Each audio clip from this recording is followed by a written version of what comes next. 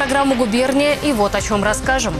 Инспекции по крышам продолжаются. Фонд капремонта проверяет, как идет ремонт кровли. На этот раз в Шуе. Мы расскажем об этом, а также об алгоритме действий, если вашему дому не повезло и его исключили из региональной программы. Основная причина, как ну, основная проблема, как у всех, это кадры. Текстильщики обсудили с губернатором проблемы развития отрасли и планы на будущее. Расскажем, какие меры поддержки сохранятся в 2023 году. Икона для раненого бойца от ивановского художника. Я хотел бы передать икону. Дедушка, кому вы хотите передать иконы? А вот парнишка тут недавно вернулся. Наш репортаж о необычной просьбе, ее исполнении и о самом герое. Второе и третье ранение уже я получил, вывозя утром раненых и погибших. Пожар в ковид-госпитале, эвакуация пациентов и медперсонала. Здание пожар. Просьба покинуть здание через ближайший выход. Расскажем, как прошли учения МЧС в больнице. Золото на черном. Ручная работа. В Иванове открылась выставка народного костюма, сделанная руками осужденных. В ее основе аутентичные ткани. Доставали их из закромы, кто-то привозил из э, деревень, от бабушек, и доставали из сундуков. Ивановские мозаики попали на открытки. Художественной галереи под открытым небом. Именно так можно назвать Иваново благодаря советским монументальным панно.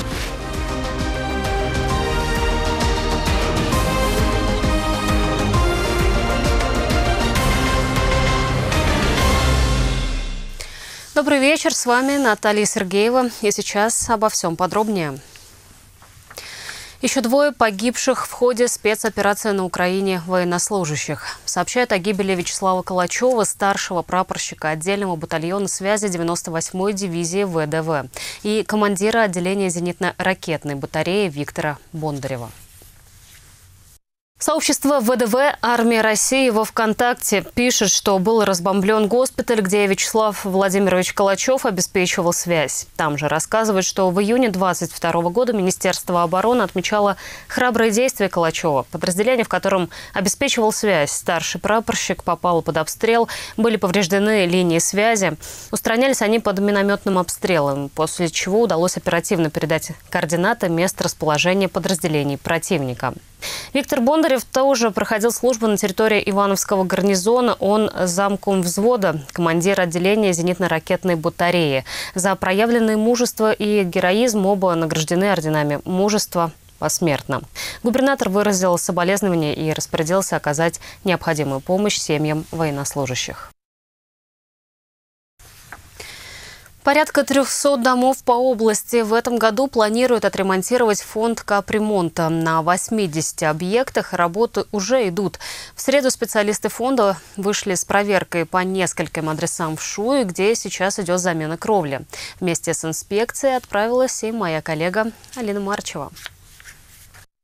Вместе с инспекцией мы приехали в Шую. Это третья Северная улица. По ремонту кровли здесь бьют рекорды, ведь работы начались только 26 января. Идут с опережением и через 2-3 недели уже хотят закончить. Заменили всю стропильную систему, оборудовали снегозадержатели. Сейчас обшивают трубы металлом. Наша следующая точка – Первая Московская улица. Но этой крыше 80 лет. Она была возведена в 43-м и за это время также не видела капитального ремонта. Площадь внушительная, 1200 квадратных метров. Но в отличие от предыдущего объекта, здесь работы на начальном этапе выполнены только на 25%. Выполнен демонтаж старого железа. Отремонтировали деревянный каркас и установили обрешетку. Рабочие укладываются в график. Хотя есть сложности, которые замедляют работу, но с ними справляются. Сложности, значит, это состояние, аварийное состояние непосредственно деревянного каркаса, то есть э, гнилые стропила, гнилой марлат, все это в связи с тем, что ее дол долго топило, эту крышу, протечки, промочки. Сначала инспекция обходит придомовую территорию, проверяет, есть ли объявление, предупреждающее о начале ремонта. Смотрят, как складируют строительный мусор и вовремя ли его вывозят. После поднимаются уже на крышу оценивают ход работ. На втором адресе нарушения все-таки нашли, но несущественные. На подкровельной пленке там уже ну, э, залежи снега и льда находятся, то есть их надо очищать, чтобы пленка там не провисла, не порвалась. Вот. Ну и тем более эти работы надо обязательно выполнить до монтажа профнастила на покрытие. Замечаний по ремонту крыши на третьей северной улице нет. Алина Марчева, Денис Железов, телекомпания «Барс». Что же делать, если ваш дом исключили из программы капремонта? Решений на самом деле немного, вот самое простое и бесперспективное. Все ранее собранные деньги, за исключением потраченных на обследование, возвращаются жителям на спецсчета. И каждый решает сам, как ими распоряжаться. А есть ли шанс вернуться в программу? Да, но для начала разберемся с причинами исключения. Во-первых, дом может выпасть из программы, если собранные жителями суммы не хватает на ремонт. К примеру, сначала по проектно-сметной документации на дом требовалось 5 миллионов рублей. Но спустя несколько лет цифра выросла и превышает предельную стоимость. И порой в несколько раз. В этом случае жителям следует обратиться в фонд, чтобы узнать, насколько велика недостающая сумма, и уже после этого решить, могут ли они ее дособрать. Если да, то поздравляем, вы снова в программе. На общедомовом собрании собственники могут даже поднять размер взноса за капремонт, чтобы ускорить этот процесс. Сейчас плата, напомню, составляет 8 рублей 50 копеек. Вторая причина исключения – это износ дома. В целом более 70%. Оценивается состояние крыши, фасада, фундамента, перекрытия и несущих стен. В этом случае судьбу постройки будут решать органы местного самоуправления. Вариантов тут немного. Это либо реконструкция, либо снос и, соответственно, расселение жильцов. Здесь может помочь уже управляющая компания. Управляющие компании, которые несут ответственность за э, обслуживание данных домов при проведении определенных значит, э, работ в рамках текущего ремонта. Значит, э, они улучшают тем самым значит, конструктивы зданий, процент износа, соответственно, он понижается, и в таком случае дома могут вернуться обратно значит, в капитальный ремонт. Другим темам. Как найти кадры, аналоги европейским станкам и заменить санкционное сырье? Текстильщики обсудили с губернатором проблемы развития отрасли и планы на будущее. Какие меры поддержки для этого бизнеса сохранятся в 2023 году, узнала Марина Зенина. Производство текстиля и одежды по-прежнему является основным на территории региона. Несмотря на санкции, ивановским предпринимателям удается наращивать обороты. Объем отгруженной в прошлом году продукции Лехпрома вырос на 27%. Мы удерживаем лидерские позиции в наших традиционных направлениях. 81% хлопчатобумажных тканей, 93% марли, я имею в виду всей страны, 78% постельного белья, 70% трикотажных тканей. 34 предприятия легкой промышленности выполняют гособоронзаказ. Знаю, что здесь никаких сбоев нет. На Минобороны в том числе работает фурмановское ткацкое предприятие «Русский дом». Как и на многих производствах, здесь главной проблемой остается нехватка кадров. И это несмотря на то, что за последние полтора года в области закрылось пять фабрик. Мы работаем с двумя предприятиями, которые э, закрылись. Вот. Не знаю почему, но люди очень неохотно идут работать. Мы, мы возим людей с, ну, с одной из фабрик из э, Каминского, где закрылось предприятие. Вот, планируем, э, планировали перевозить людей с Новопесцова, с отделочной фабрики. К сожалению, почему-то непонятно, люди очень неохотно идут. Не так давно «Русский дом» взял в лизинг 60 китайских станков. Предприятие пользуется 13-процентной льготой по налогу на прибыль. Эта поддержка будет действовать и в этом году. Компания планирует закупить еще 120 машин в будущий цех. Льготным налогообложением пользуется и кинешемское швейное предприятие «Галспром». В целом, Ивановский Лехпром является лидером по получению федеральных мер поддержки. На швейной фабрике «Галс» активно решают проблемы, связанные с санкциями. У нас основная линия немецкое оборудование. Сейчас э, смотрим аналоги, э, вот уже на той неделе закупили, на этой тоже смотрим китайские аналоги. Ну, вроде как по качеству неплохо по пошиву. Посмотрим, как на длительном промежутке времени оно себя поведет. В этом году сюда хотят взять 50 новых сотрудников. Планируют увеличить долю отечественного сырья и увеличить продажи, в том числе через маркетплейсы. Ивановская область третья в стране по объему онлайн-продаж. На совещании гендиректор попросил поддержки для участия в выставочных мероприятиях. Марина Зенина, Владимир Хмелев, телекомпания «Барс». Эвакуация в Ивановском ковид-госпитале. В среду МЧС проводила учения на базе клиники. Личный состав пожарно-спасательного гарнизона тренировался проводить спас-работы в больницах. По легенде учений, пожар возник в рентген-кабинете корпуса А3. К пожару привела неисправность электропроводки. Первоначально сработала пожарная сигнализация. Внимание! В здании пожар. Сразу после сотрудники больницы сообщили о возгорании пожарным и начали эвакуацию. Оперативно на место ЧП приехали пожарные подразделения. Уже на месте выяснили у администрации госпиталя возможные места, где распространяется огонь, и после чего были даны необходимые распоряжения. Команда приступила к тушению. Здание пожар.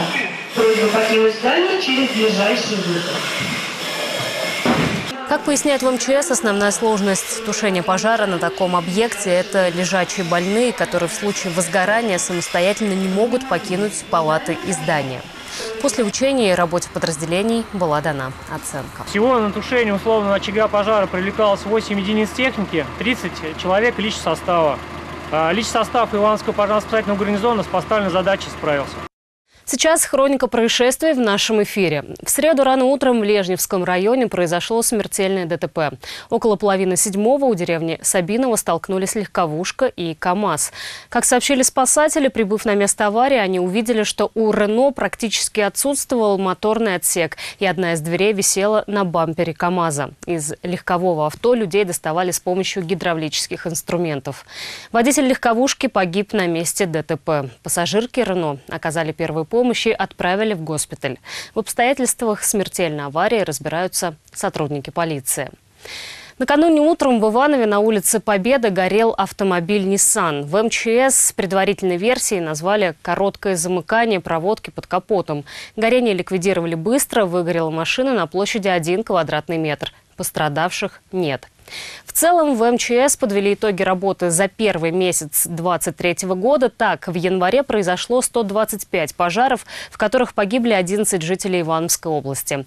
Травмы получили трое. Основные причины пожароопасных ситуаций – нарушение правил эксплуатации электро- и печного оборудования, поджоги и неосторожное обращение с огнем. Следственный комитет проверит жителя Приволжска, чей алабай набросился на школьницу и ее далматинца. Сейчас девочка проходит курс реабилитации у психотерапевта. Домашний питомец получил множественные травмы. Историей исследователи заинтересовались после выхода в эфир нашего сюжета и публикации на сайте Иваново News. С надеждой повлиять на соседа за помощью в редакцию обратилась мама девочки. Случилось все в Приволжске на улице Фурманова. Вечером Олеся с детьми собрались в магазин за молоком. Пока мама одевала двоих младших, старшая Настя с любимицей семьи, далматинцем Мерсой, вышли на улицу. Через пять минут девочка позвонила маме, крича в трубку и заикаясь, рассказала о случившемся. Алабай без намордника и поводка набросился на Настю. Далматинец встал на защиту. Выбежав на улицу, Олеся обнаружила свою дочку в шоковом состоянии. Их собака была вся в крови. Потом сосед привязал пса на лестничном пролете, не давая маме с девочкой и далматином вернуться домой, чтобы оказать первую помощь. Какое-то время им пришлось простоять на улице, пока другой сосед не сообщил, что путь свободен. По словам местных жителей, этот мужчина держит в страхе всю округу. Агрессивного пса натравливает на неугодных ему соседей. В настоящее время следователи проведут проверку, опросят свидетелей и всех участников конфликта, чтобы потом принять решение, возбуждать или нет уголовное дело. Короткая реклама в эфире далее и после продолжим. Золото на черном. Ручная работа. В Иванове открылась выставка народного костюма, сделанная руками осужденных. В ее основе аутентичные ткани. Доставали их из закромы, кто-то привозил из э, деревень, от бабушек и доставали из сундуков. Ивановские мозаики попали на открытки. Художественная галерея под открытым небом. Именно так можно назвать Иваново благодаря советским монументальным панно.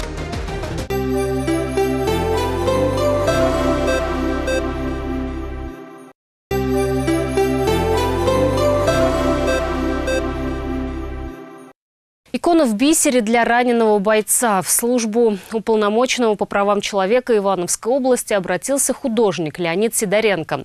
Он попросил передать одному из военнослужащих, который сейчас проходит реабилитацию, собственноручно изготовленную икону Спаса Нерукотворного. А героя из Луха, награжденным медалью за отвагу, он услышал случайно. Эта необычная просьба была исполнена. К сожалению, моим коллегам не удалось пока что встретиться с самобытным мастером. Леонид Сидоренко заболел. Наш репортаж о Руслане Хомутаеве, которому и был предназначен образ святого. Они сегодня вот звонили, говорили, что все у нас хорошо, все у нас хватает, все у нас в достатке. Вот. Главное, конечно, сейчас среди гуманитарной помощи это требуется стельки и носки, потому что они как самый такой расходный материал э, и времени там стирать. И на это ничего нету. Последние месяцы Руслан Хамутаев проводит дни в школах. Не только в Лухе, но и в других районах. Сейчас вот в Воротниках. В рамках тех самых разговоров о важном учит правилам безопасности в интернете, рассказывает о спецоперации, о героях Ивановской области, о сослуживцах, отвечает на вопросы. Сам Руслан сейчас проходит реабилитацию после ранений. Я, да, лежал, так сказать, дома, потом понял, что сойду с ума, вот, это нечего делать. Э, нужно что-то за что-то браться, придумывать какие-то занятия, дела. Единственное, что я сделал, это, наверное, самый правильный выбор в моей жизни, это помочь нашим детям. Вот. И я по максимуму отдаю свое время. С 8 утра до 6 вечера я провожу занятия с детьми. В каждых школах это по 5-6 по классов. Вот. И мне не тяжело, лишь бы это ценилось, для них это было важно, интересно. Неудивительно, говорит мама Руслана Елена. Он и в школе, в старших классах был окружен детьми. Был для них и наставником, и старшим другом. Зовут его в войнушку играть. Э, там он сходит на футбол, куда-то на каток. Э, у них нету автоматов или чего-то. Он сходит, выпилит им из лобзика, пойдет играть с ними. То есть он до такой степени вот в этих детях э, растворяется. То есть он, он играет как за настоящий. То есть просто разницы нет никакой, что он с первым классом играет, что, что это. О службе именно в десантных войсках Руслан мечтал с детства. С первой попытки не поступил в Рязанское училище. В гражданский вуз не захотел. Стал ждать 18 лет, чтобы уйти в армию. Учился он очень хорошо. Особенно технические науки ему очень легко давались. Он мог бы поступить и в другую. Большую роль, конечно, и семейная обстановка, без этого не бывает. От воспитания зависит, патриотизм. Это все ведь в доме дается. А дома были исторические и военные фильмы, книги, занятия в юнармии. Отец, прошедший службу в ВДВ и защищавший Дагестан от боевиков в конце 90-х в составе десантно-штурмовой бригады. Вот эту книгу Руслан он сам Он брал. читать не мог, он листал, да, он сам слова придумывал. Мог. Когда мы сказки рассказывали, он говорит, нет, не хочу сказки, давайте вот вы мне вот это читайте. И вот с четырех лет он ее вот все рассказывал, не читая по всем картинкам. Он все-все-все расскажет, перескажет покажет, то есть вот эти все э, приемы, неприемы. То и есть... вы эту книгу ему давали с собой в командировку? Да, да, да, я ее хранила, и вот я ему дала, написала, говорю, ты береги, то есть как бы вот это его настольная книга с пяти лет. После армии Руслан заключил контракт, и вот уже 8 лет служит в 98-й дивизии. За плечами две командировки в Сирию. В специальной военной операции принимал участие с первых дней. Я там был вплоть до ранения. Вот. Это было на Харьковском направлении за Изюмом. Вот, так сказать, у нас тогда неудачно мы попали в зону нашего, так сказать, соприкосновения с противником. Вот, было очень много раненых, было много погибших. Вот, как раз ранение получил я в ту ночь. Это было вечером 22 числа. Я вместе с механиком получил ранение. Но позиции нельзя было оставлять. Второе и третье ранение уже получил вывозя утром раненых и погибших. Вертолетом Руслана вывезли из-под Изюма в госпиталь в Белгород. Потом были Воронежский госпиталь, Ивановский, Вишневского в Подмосковье. На лечение и реабилитации младший сержант уже более полугода. Процесс, да, говорят, длительный, но я надеюсь, что вскоре восстановление это пройдет быстро, потому что мне как бы помогают и в мотивации, и в стремлении, и как бы желанием горю все равно. И мальчишки оттуда звонят, говорят, хватит там загорать, хорош на отдыхе, давай, нам нужна поддержка, приезжай. Вот. Поэтому стремление выздороветь быстрее – это колоссальное. В ноябре Руслану Хамутаеву вручили медаль за отвагу. Наверное, тогда и услышал о младшем сержанте из Луха художник Леонид Сидоренко. Мастер создает иконы из бисера. Чтобы найти бойца, позвонил в службу уполномоченного по правам человека. Я хотел бы передать икону. Дедушка, кому вы хотите передать иконы? А вот парнишка тут недавно вернулся. Я знаю, что он был ранен. Долго, в общем-то, приходил в себя. Лечение было длительно. А сейчас смотрю, он уже сам помогает, волонтерит. Образ Спаса Нерукотворного будет хранить семью, верит Руслан. Он хотел лично поблагодарить художника и ждет его выздоровления. Татьяна Прокопенко, Владимир Хмелев, телекомпания «Барс». Осужденные седьмой Ивановской колонии продолжили дело модельера Вячеслава Зайцева. Они создали коллекцию одежды на основе народного костюма. При пошиве отдельных платьев использовали аутентичные ткани. То, что получилось, представили широкой публике. Выставка открылась в среду в Центре культуры и отдыха. Репортаж Сергея Веселова. Золото на черном – это не машинный принт, а настоящий хендмейд. Рисунок нанесен на ткань кистью.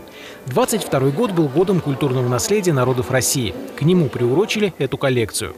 Начальнику воспитательного отдела ИК-7 Татьяне Лопатиной пришла в голову идея показать красоту русской женщины через народный костюм. Осужденные это поддержали. Эскизы, измерения, выкройки, примерки – работа закипела. В процессе участвовала вся колония – и сотрудники, и их подопечные. Данные ткани а, приносили сотрудники учреждения, которые откликнулись на нашу просьбу. Они доставали их из закромы, кто-то привозил из э, деревень, от бабушек и доставали из сундуков. А, поэтому ткань довольно-таки такая эксклюзивная. В итоге получились 60 костюмов. В экспозицию вошли 20 из них.